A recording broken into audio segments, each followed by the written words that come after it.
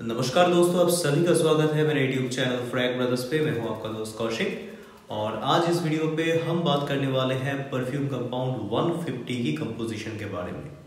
तो perfume compound 150 एक basically एगरूट based या फिर ऊद बेस्ड खुशबू है। और जो लोग ऊद टाइप की परफ्यूम मैन्युफैक्चर करना चाहते हैं या फिर ऊद टाइप की अत्तर प्रिपेयर करना चाहते हैं, उनके लिए ये वीडियो बहुत ही यूजफुल साबित हो सकता है। तो चलिए दोस्तों, शुरू करते हैं।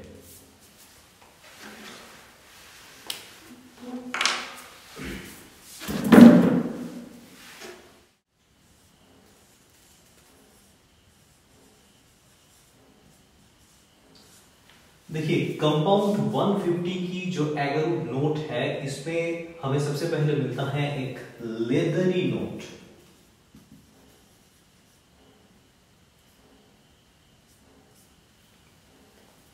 लेदरी खुशबू फिर आता है एनिमैलिक। एनिमैलिक नोट फिर आता है ऊद की जो टिपिकल स्वीटनेस होती है, वो स्वीटनेस वाला पार्ट फिर आता है इसमें जो ऊडी पार्ट है, जो एक ऊडीनेस होती है। फिर एक मस्की एम्बरी नेचर रहती है, जो ऊद की एक बेसिक नेचर है। मस्की एम्बरी तो ये सारे जो नेचर है, ये कंपाउंड 150 में आपको मिलेगा। Leathery animalic sweetness woody musky ambery तो ये जो लेदरी और एनिमलिक है, ये हमें खास तौर पे मिलने वाला है एक मॉलिक्यूल से, जिसका नाम है I B Q isobutyl quinoline IBQ जो मॉलिक्यूल है, इसकी मॉलिक्यूलर वेट है 185 इसकी फॉर्मूला है C thirteen H fifteen N ये है आईबीक्यू की फॉर्मूला और आईबीक्यू को अगर हम इस्तेमाल करते हैं परफ्यूम कंपाउंड 150 के अंदर, जैसे ये इस्तेमाल हो रहा है, इसकी बेसिक नेचर लेदरी और एनिमलिक पे रहता है। बहुत ही एक स्ट्रॉन्ग सब्सटेंस है तो इसको इस्तेमाल करने से पहले डाइल्यूशन करना बहुत ही नेसेसरी है। इसको वन परसेंट डाइल्यूशन में अगर आप इस्तेमाल करें तो ये सही रहता है मेरे हिसाब से। अब जिन लोगों को पता नहीं कि ये परसेंटेज का मतलब क्या होता है, उनके लिए मैं रिपीट करना चाहूँगा, जो मैं हर वीडियो में कुछ हद तक कह देता हूँ डाइल्यूशन के बारे में। One percent I B Q की जो प्रिपरेशन है, ये कैसे बनती है? हमने एक ग्राम ले लिया आई बी क्यू और 99 ग्राम हमने ले लिया डीपीजी तो ये जो सोल्यूशन बना, ये वन परसेंट होता है। वन परसेंट मतलब सौ भाग के अंदर वो कितना है? सौ भाग के अंदर अगर वो एक भाग है तो वो वन परसेंट में आता है। सौ भाग के अंदर अगर कोई दस भाग है तो वो टेन परसेंट में आता है। तो उसी हिसाब को अगर हम ग्राम में समझे तो 99 ग्राम ऑफ़ डीपीजी के साथ एक ग्राम आईबीक्यू को अगर हम इस्तेमाल करते हैं तो वो वन परसेंट बनता है आईबीक्यू का। तो हमें जो आईबीक्यू चाहिए, वो उस तरह की चाहिए वन परसेंट वाला। फिर आता है स्वीटनेस ये स्वीटनेस की जो खासियत है ये आपको मिलेगा इथाइल मॉर्टल से। Ethyl maltol.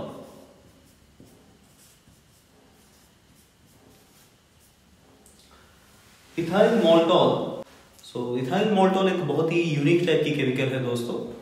In one word it is sweet crystalline material which can be perfectly described as uh, caramelic sugar or you can say burnt sugar.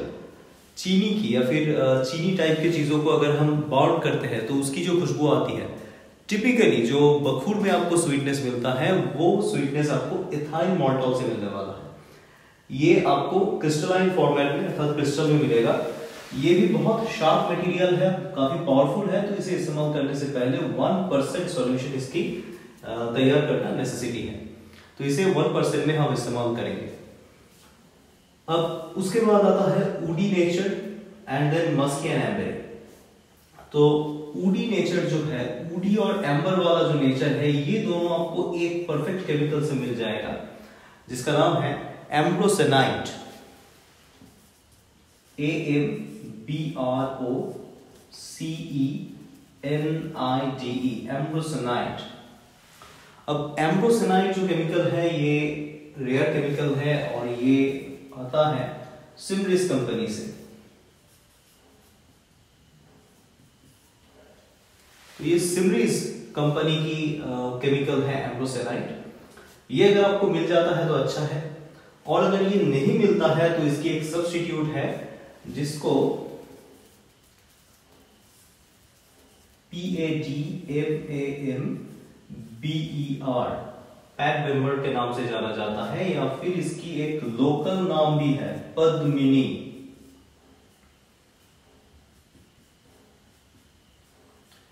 Padmini को आप ट्रेड नेम ही समझ लीजिए। अर्थात एक केमिकल है, उसका नाम है पद्मिनी।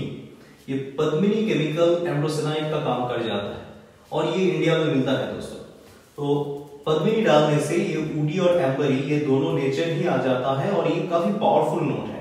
उडी और एम्बरी कॉम्बिनेशन। में फिर आता है यहाँ से मस्क वाली नोट। अब मस्क की जो नोट है, मस्क की, वो भी ऊद के नोट के साथ जो मस्क मिलने वाला है, उस तरह का नोट आपको प्रोवाइड कर सकता है। Cash cashmeran.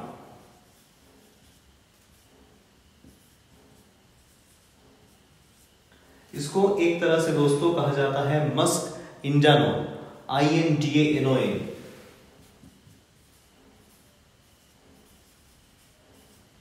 ये एनो एनी का मतलब आता है, ये एक कीटोन है। ये एक एलिसाइक्लिक कीटोन की ग्रुप में आता है कैशमेरान और इसमें हमें मस्क की खुशबू मिलता है। इसकी मॉलिक्यूलर वेट है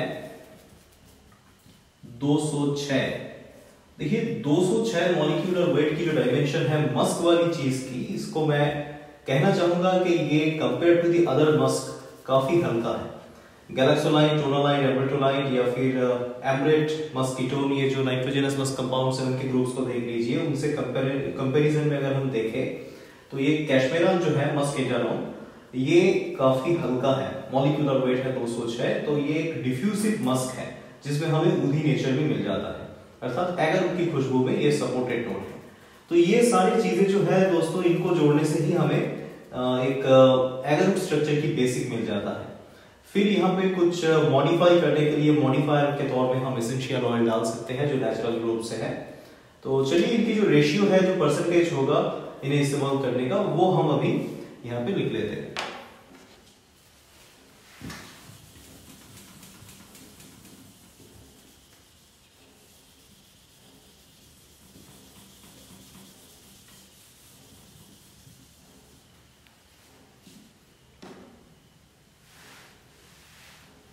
ये वन परसेंट वाला जो आई क्यू है, इसे हम ले लेते हैं तीस ग्राम।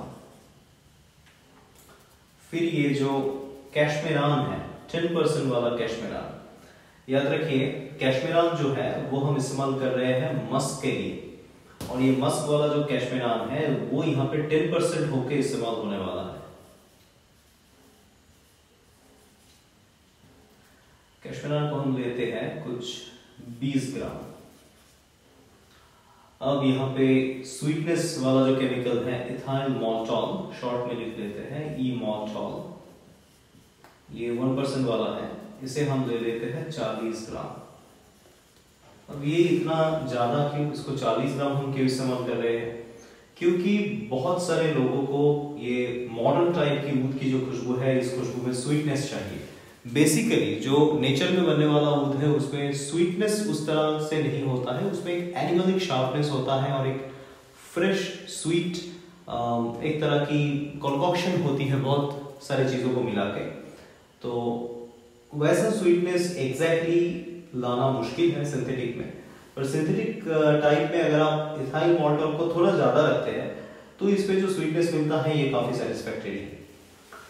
अब इनके बाद इस्तेमाल होने वाला है एम्ब्रोसेनाइड या फिर पद्मिनी तो पद्मिनी को ही हम इस्तेमाल कर लेते हैं यहाँ पे। पद्मिनी आप यहाँ पे डाल सकते हैं नियर अबाउट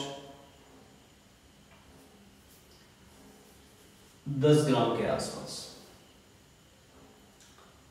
तो इससे हमारा जो बेसिक स्ट्रक्चर है, ये तैयार हो जाता है।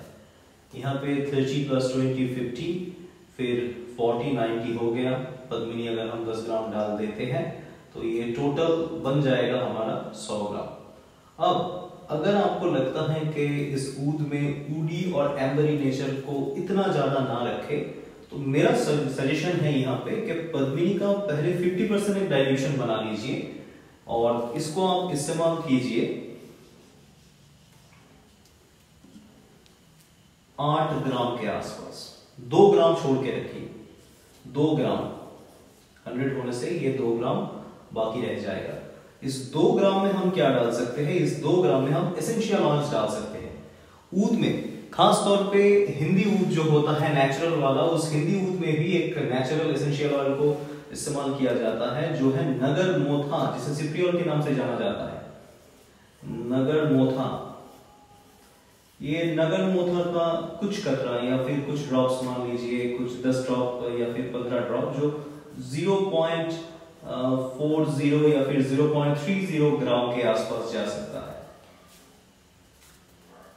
दूसरा एक एसेंशियल ऑयल है जो ऊँट के क्षेत्र में बहुत ही अच्छी तरह से काम कर सकता है, वो है पचूली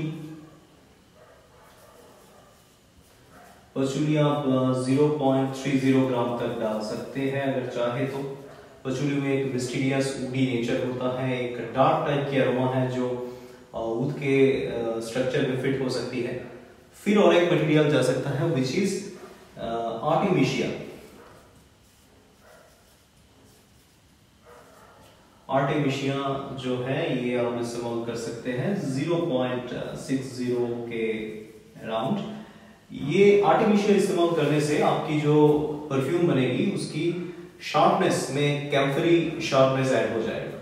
और अगर आप चाहें कि इन तीन चीज़ों को ही अपने तरफ़ से एक रेशियो बना के पहले इन तीन चीज़ों की एक अलग ब्लेंड बना के टेस्ट कर ले तो वो भी आप कर सकते हैं। फिर उस ब्लेंड से आप दो ग्राम फुलफिल कर सकते हैं। तो ये रहेगा दोस्तों बेसिक स्ट्रक्चर जिसमें आपको एक बढ़िया एगरवुड मिल जाएगा। ऊद की खुशबू आपको इसी में आ जाएगा। एक अच्छा स्वीट ऊद की एक खुशबू, जिसमें स्वीटनेस है लेदरी स्कैंकी जो वाइब है, जो एनिमलिक करनेस है, वो भी आपको मिलता है और मस्की नेचर भी स्ट्रक्चर में आपको मिल जाता है। तो इस तरह की ऊद आप इस्तेमाल कर सकते हैं अपने परफ्यूम के लिए या फिर अपने अत्तर के लिए और ये बहुत ज़्यादा कॉस्टली भी नहीं होने वाला है। क्योंकि ये जो केमिकल्स हैं, ये सारे केमिकल्स लगभग दस हज़ार के रेंज में ही आ जाते हैं। दस हज़ार के से भी कम। पद्मिनी का जो प्रेजेंट रेट है, ये एक बार चेक करना होगा।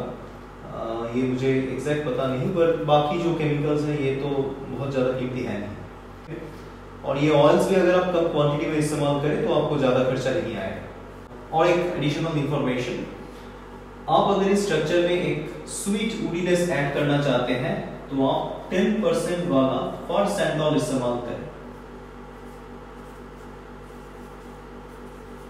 याद रखिए फ़र्स्ट सैंडॉल जो है, ये सैंडलवुड ग्रुप की केमिकल है।